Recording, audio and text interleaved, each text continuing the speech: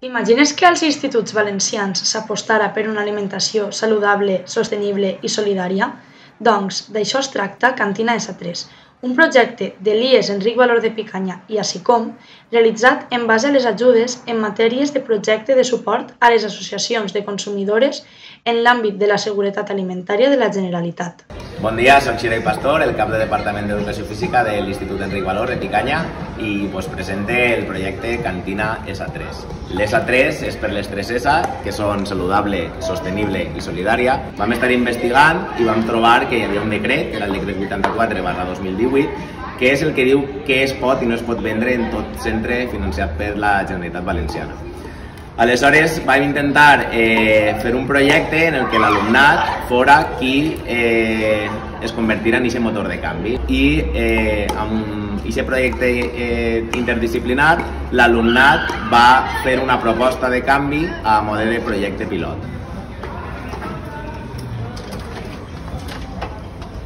Tota l'oferta s'ha anat actualitzant, com vegeu hem introduït aspectes complementaris com per exemple fomentar que l'alumnat en la eixa vessant de salut que volen treballar puga raspallar-se i fomentar que es raspalli els dents.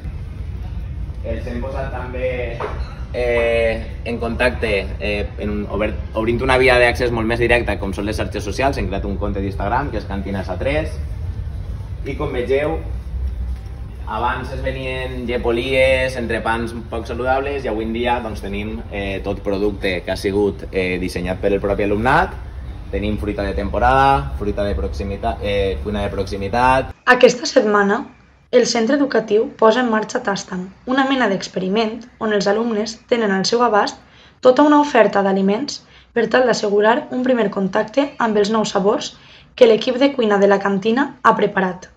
Jamón serrano con tomate. Luego tenemos variedad de pues con espinacas, con cebolla, eh, rosquilletas naturales, tostas de hummus, palomitas recién hechas, bueno, toda una gama de, de productos naturales i ecològics.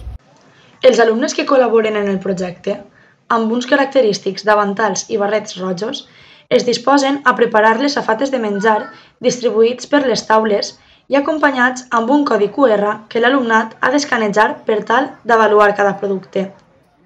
A mí me ha agradado mucho el smoothies y lo de espinacos está muy bueno. Me ha gustado lo que ha organizado la cantina porque es como que puedes elegir tú las cosas que te gustan. Eh, en especial me ha gustado el falafel porque no sé, eh, nunca lo había probado y tiene un sabor muy bueno y espero que hagan más cosas como estas. Eh, yo creo que eh, el instituto puede ser eh, un proyecto pues, base a otros institutos, pues es, es saludable, pues son productos más eh, sostenibles, de cercanía, sin azúcares añadidos y yo creo que es mucho más, eh, mucho más sano para los niños.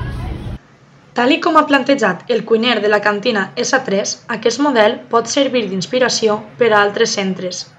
Una qüestió que també suporta el director de l'institut. eh, tenim aquesta proposta que és, que és més sana, que mm, poquet a poquet va instal·lant-se en la, la consciència de, dels nanos i en realitat eh, se venen una quantitat d'entrepans eh, semblant a, a la que tenien eh, le, el, els cursos anteriors Eh, això segurament farà que siga eh, sostenible econòmicament perquè era un de, dels riscos eh, que tenien. I, en fi, eh, estem molt contents, estem molt orgullosos. La cantina S3 no ha fet més que començar.